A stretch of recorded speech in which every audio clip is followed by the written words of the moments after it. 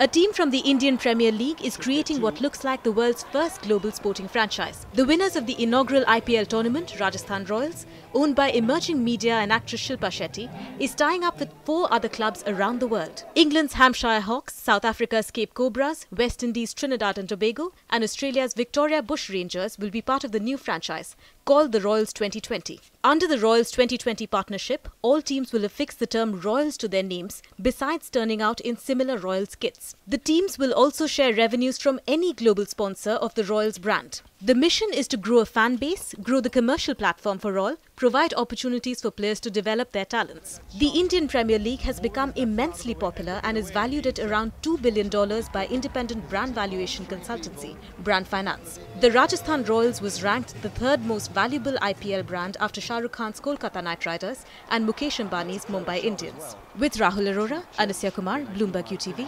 Mumbai.